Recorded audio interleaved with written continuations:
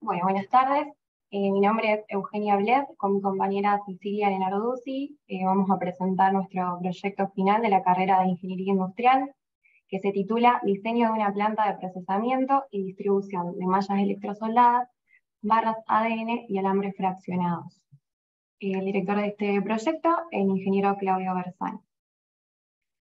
El objetivo de este proyecto es determinar la factibilidad técnica, económica y financiera de la ampliación de una importante empresa siderúrgica, Gerdau, que es una multinacional dedicada al procesamiento y distribución de productos para la construcción. Esta empresa eh, se encuentra en más de 10 países, con más de 120 años en el rubro, y es una de las más grandes recicladoras de chatarra de Latinoamérica procesa millones de toneladas de acero por año. Nosotros nos concentramos en la planta de laminación, que podemos ver en la imagen, que se encuentra en la ciudad de Pérez, en Argentina, en la que tanto Cecilia como yo nos encontramos trabajando actualmente en el sector de supply chain. Proponemos para la presentación de nuestro proyecto la siguiente agenda. Empezaremos con el análisis de la situación actual de la empresa, el estudio de mercado, el diseño de una nueva planta industrial, el rediseño de la nave actual y terminaremos con la evaluación del proyecto de inversión y las conclusiones que obtuvimos. Capítulo 1. Análisis de la situación actual. El proceso productivo del acero comienza con la acería, donde se producen las palanquillas a partir de la fusión de chatarra ferrosa. Esta acería fue puesta en marcha en el año 2017 y tiene una capacidad productiva de 780.000 toneladas anuales, la cual todavía no fue alcanzada. Las palanquillas son trasladadas al sector de laminación en caliente, donde se producen alambrones, barras, perfiles, rollos ADN, entre otros productos. Se laminan por año 260.000 toneladas. Esto representa la capacidad total del sector de laminación en caliente. Estos productos son enviados al sector de transformación en frío para la producción de mallas, alambres, clavos y barras. Solo el 28% de la capacidad productiva del sector de laminación en caliente se traslada para el uso interno, ya que la capacidad productiva de transformación en frío solamente alcanza las 72.000 toneladas anuales. Nosotros lo que proponemos en este proyecto es aumentar ese porcentaje de uso interno de manera tal eh, que la empresa obtenga mayores, rentabilidades a través de eh, productos elaborados que puedan ser vendidos más caros. Eh, de esta manera se sacrificarían algunas ventas eh, del sector de laminación en caliente en pos de una mejor eh, utilidad. Bueno, para este proyecto nosotros nos quedamos con los tres productos que presentamos a continuación, que son mallas electrosoldadas, barras ADN de 6 milímetros de diámetro y alambre recocido fraccionado en rollos de 1 kilogramo. ¿Por qué nos quedamos con estos tres productos? Porque son productos que tiene una demanda hoy en día significativa y que no se llega a atender con las capacidades de producción que presenta la empresa actualmente. Eh, también pudimos observar que los tres productos eh, tienen una contratación de servicio FASON por las toneladas que eh, acá se indican, pero aún así la brecha entre la demanda y la producción es muy, muy amplia. ¿Qué es un proceso FASON? Es el servicio que ofrece una empresa o taller al transformar materiales con su propio trabajo, conocimiento, maquinaria y herramientas bajo pedido de un, tercero. En este caso, el tercero sería Gerdau, que contrata proveedores eh, de FASON para producir los productos que mencionamos recién. En primer lugar, eh, se hace el traslado de materia prima a las instalaciones del proveedor, se hace la fabricación del producto en el proveedor, se reciben muestras para los ensayos de calidad correspondientes, se etiqueta el producto final y finalmente se recepciona para el despacho a los clientes. Bien. En el capítulo 2 eh, hicimos el estudio de mercado. Empezamos por el mercado mundial, eh, analizamos la producción eh, del acero, millones de toneladas, y notamos que anualmente esta producción crece y la tasa de crecimiento promedio también es eh, alentadora. Eh, ya enfocándonos en la demanda de, estos tres productos dentro de la empresa, notamos que eh, para mallas electrosoldadas la demanda ya supera las 6.000 toneladas anuales y eh, sin embargo la producción solamente alcanza las 1.500, es decir, que hay una demanda desatendida de un 73%. En el caso de las barras ADN 6 milímetros, la producción ya alcanza las 4.500 toneladas eh, mensuales, mientras que la producción se mantiene en 2.000 toneladas. Eh, de esta manera, hay más de la mitad de la demanda también está desatendida. Y en el caso del, recocido, del hambre recocido, fraccionado en rollo de un kilogramo, ya la producción, eh, la demanda superó las 1.200 toneladas mensuales eh, y la empresa no, no tiene lugar o espacio para hacer este proceso. Solamente hay una proporción que está destinada, eh, fabricada mediante FASON, pero sin embargo hay un 87,5% de esa demanda que todavía está desatendida. resumiendo este análisis, mostramos la demanda registrada en el último año en toneladas y el porcentaje de atendimiento de la empresa para las tres líneas. Además, hicimos un análisis de la demanda, eh, un pronóstico de la demanda para los próximos cinco años, donde vemos que es muy alentador para nuestro proyecto, ya que las demandas crecen eh, todos los años. Eh, planteamos los siguientes objetivos específicos, comenzando con aumentar la capacidad de producción para cubrir la demanda. De esta manera también podríamos eliminar los contratos FASOM de manera tal que podamos asegurar un mayor control de la producción, disminuir el lead time, reducir los costos logísticos y mejorar el nivel de servicio al cliente. Para cumplir con estos cinco objetivos, proponemos dos puntos dentro de nuestro proyecto. Diseñar una nueva planta industrial dedicada exclusivamente a la producción de mallas electrosoldadas. Esto sería a través del traslado de las máquinas que hoy en día se encuentran en la nave que se utiliza para este producto y la incorporación de dos máquinas nuevas soldadoras, aumentando de esta manera la producción actual de la línea. Con la nave que queda eh, despejada, se, haremos un rediseño para la incorporación, por un lado, del proceso de fraccionado de alambre de rollos en, un kilogramo, y además la adquisición de nuevas máquinas para eh, enderezar eh, más capacidad de barras ADN.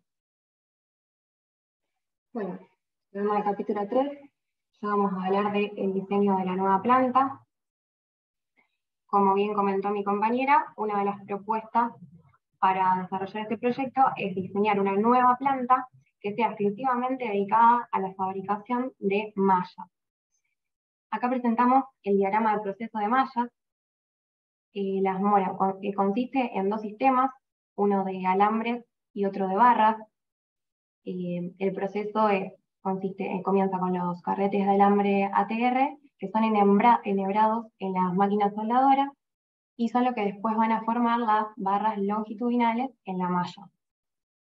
Al mismo tiempo, la máquina soldadora se alimenta de barras transversales que son previamente enderezadas y cortadas a medida y se van lanzando para soldar eh, eléctricamente de manera perpendicular y así obtener la malla a medida que van saliendo las mallas de, la soldadora, se apilan hasta formar un paquete que se ata, se almacena y finalmente se despacha a los clientes.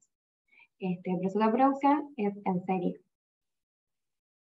Para la nave industrial, eh, la superficie estará determinada por el tamaño que ocupen las máquinas y el almacén, tanto de materia prima como de producto terminado, que va a ser necesario. La estructura la definimos de tipo metálica tiene que ser apta para la instalación de puentes grúas, para el manejo de estos materiales.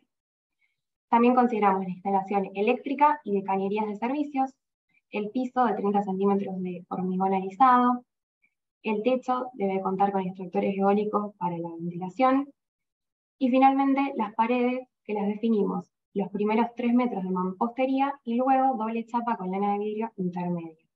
También consideramos rejillas de ventilación en la parte inferior de las mismas.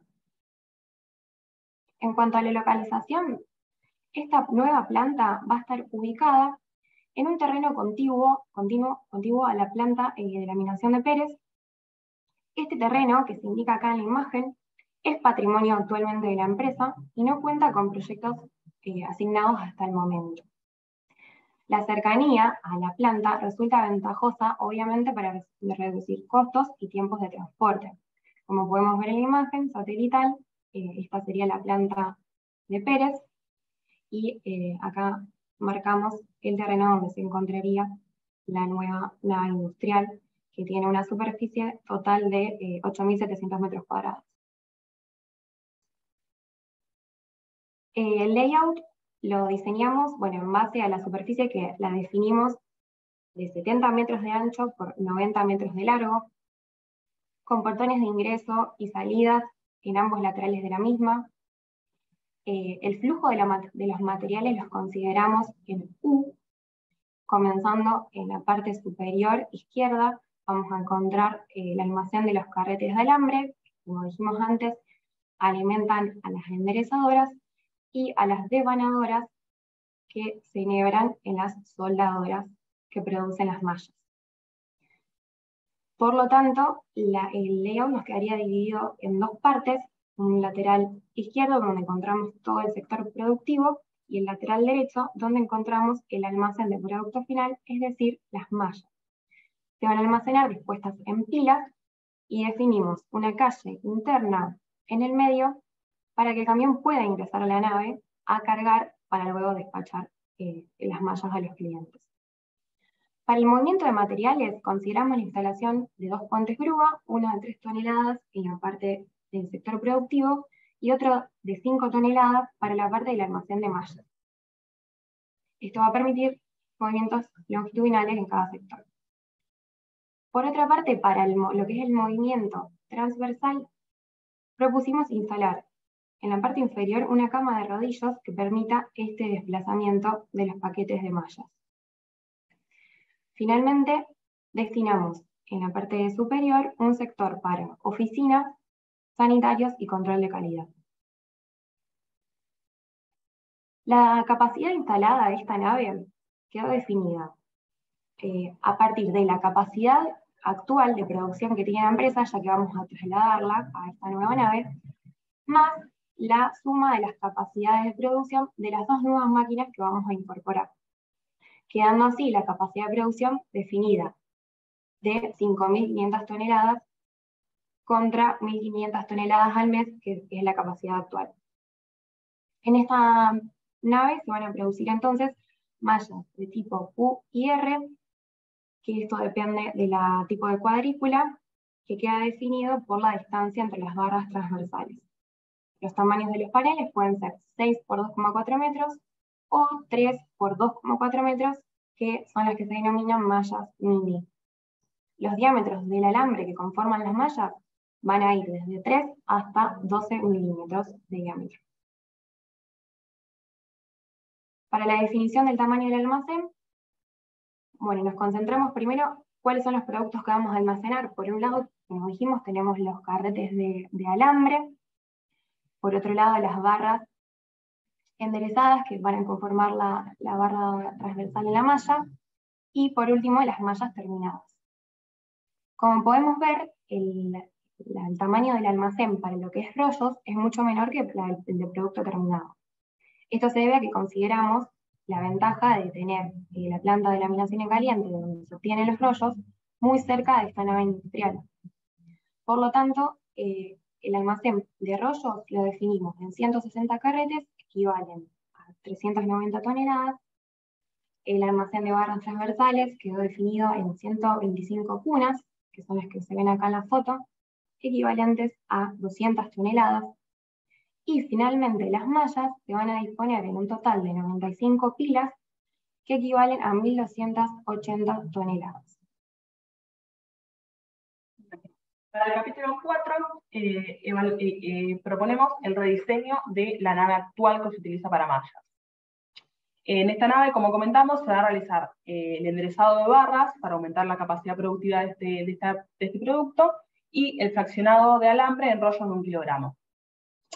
El proceso de enderezado de barra consiste en cargar un rollo en el debobinador, enhebrarlo en, la, en, la, enderezadora, realizar el corte en la longitud eh, deseada, que en este caso serían de 12 metros, realizar los controles de calidad, eh, atado de paquete, etiquetado y luego eh, almacén para su posterior despacho.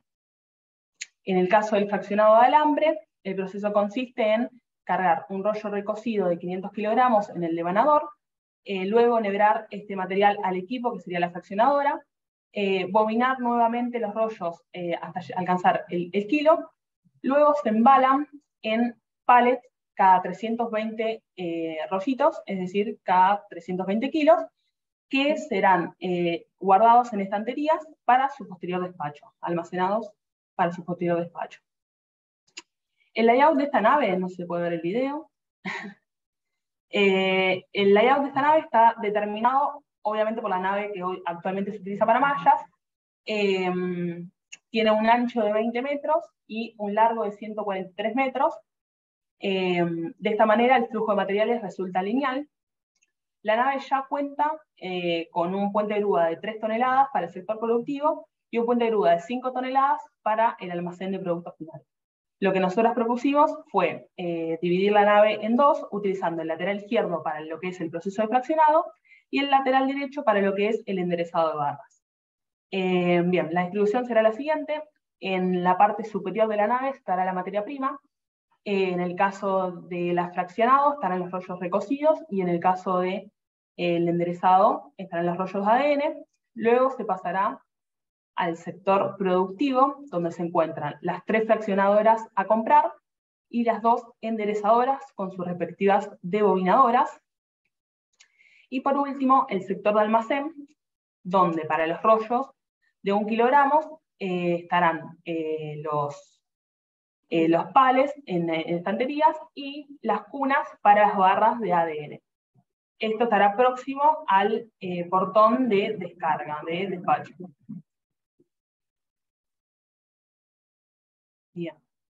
La capacidad instalada de esta planta estará determinada por las dos enderezadoras a comprar lo que permitirá aumentar la capacidad de producción de 2 a 4 toneladas mensuales para barras ADN, para enderezado de barras.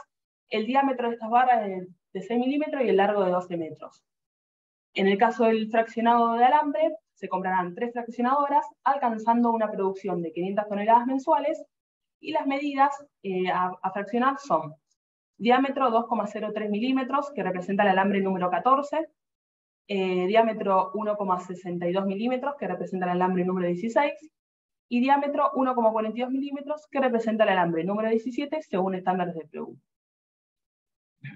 El almacén, como comentaba anteriormente, eh, va a estar dividido dependiendo del proceso y dependiendo del producto final. En primer lugar estará la materia prima, en el caso del fraccionado, la materia prima estará dispuesta con 180 rollos de alambre recocido que representan o que equivalen los 90 toneladas que luego serán enhebradas en la fraccionadora. En el caso del producto final, se van a disponer en pallets, eh, establecimos una cantidad de 234 pallets eh, que equivalen a 75 toneladas que luego serán destinadas al despacho. En el caso de barras enderezadas ADN, la materia prima estará eh, almacenada en 140 rollos de alambre ADN, que equivale a 170 toneladas, que luego serán utilizadas en las enderezadoras, y la capacidad para almacenar producto final está, la determinamos en 30 cunas de barras ADN, que equivalen a 1080 toneladas, que luego estarán preparadas para el despacho. Bueno, en el capítulo 5 vamos a hablar de, de la evaluación del proyecto de inversión. Eh, esta evaluación la realizamos para justamente evaluar la viabilidad del proyecto de generar beneficios económicos. Eh, bueno, algunos aspectos generales que consideramos para esta evaluación. El análisis que realizamos fue de tipo incremental, es decir, comparamos la situación base sin proyecto contra la situación con proyecto. Eh, para esto realizamos bueno, tres flujos de caja para tres escenarios posibles, uno normal, otro optimista y uno pesimista. La moneda que adoptamos fue el dólar estadounidense. No se consideraron eh, ajustes por inflación ni toma de financiamiento. La tasa de descuento que consideramos eh, fue el 18% anual, los periodos eh, anuales. Y por último, el horizonte de evaluación que tomamos fue de 5 años. Presentamos los resultados obtenidos para los tres indicadores que utilizamos, que son el valor, el valor actual neto, la tasa interna de retorno y el periodo de recupera la inversión. Podemos ver los resultados obtenidos para los tres escenarios que comentamos, el pesimista, el normal y el optimista. Y lo que podemos concluir es que en los tres casos, los criterios de evaluación evidencian una aceptable rentabilidad y un periodo de recuperación la inversión favorable. También realizamos un análisis de sensibilidad, que lo que nos permite ver es qué tanto pueden variar las variables, en este caso ingresos, egresos e inversión, sin que afecte la rentabilidad del proyecto. De este análisis podemos concluir que una disminución de los ingresos del 20% o mayor o un aumento de egresos igual o mayor al 25% o una inversión seis veces mayor que la planteada, en cualquiera de estos tres casos, el valor actual neto del proyecto se torna negativo y la tasa interna de retorno será menor a la tasa de descuento adoptada. ¿Qué quiere decir? Que en cualquiera de estos tres casos, tomando estos valores críticos, el proyecto dejaría de ser rentable. Como podemos observar, son números que aceptan una cierta variación. Por último, para cerrar, como comisión, obtuvimos la siguiente. La capacidad de producción de mallas eh, aumenta de 1.500 toneladas a 5.500 toneladas mensuales. La capacidad de producción de enderezado de barras ADN 6 milímetros aumenta de 2.000 toneladas a 4.000 toneladas mensuales. Y por último, la capacidad de producción de alambre recocido fraccionado en rollos de un kilogramo queda en 500 toneladas mensuales. Todo esto genera que la proporción de producto laminado en caliente asignado a uso interno aumente de un 28% a un 58%. Esto ocurre porque la proporción, eh, porque la capacidad de transformación en frío ahora resulta mayor, por lo tanto hay un mayor porcentaje que puede ser asignado desde el laminador en caliente, eh, generando mayores utilidades para la empresa. Otro de los resultados que obtuvimos fue que va a ocurrir un ahorro de costos, ya que la contratación de servicios FASON quedaría anulada, y este ahorro es por encima del millón de dólares eh, anual. Además, eh, va a haber una reducción del lead time promedio, ya que los servicios FASON demoran entre 12 y 16 días desde que se entrega la materia prima hasta que se recibe el producto final, y con nuestro proyecto eh, quedaría todo reducido al mismo día. El proyecto es viable, ya que la rentabilidad obtenida es, mayor es superior a la exigida, y el recupero de inversión es en los primeros tres años, como mostró recién Eugenia, el valor del trigo. Em, el proyecto es robusto, tolera significativos márgenes de variaciones negativas, tanto en ingresos, egresos o inversiones. Y em, por último, no, no, menos importante, el proyecto también le permite a la empresa adaptarse a requerimientos mayores en un futuro. Es decir, que las cantidades que nosotros planteamos eh, no son limitadas, se puede seguir aumentando eh, la, capacidad de producción del sector de transformación en frío. Con esto terminamos la presentación de nuestro proyecto y abrimos un espacio de preguntas.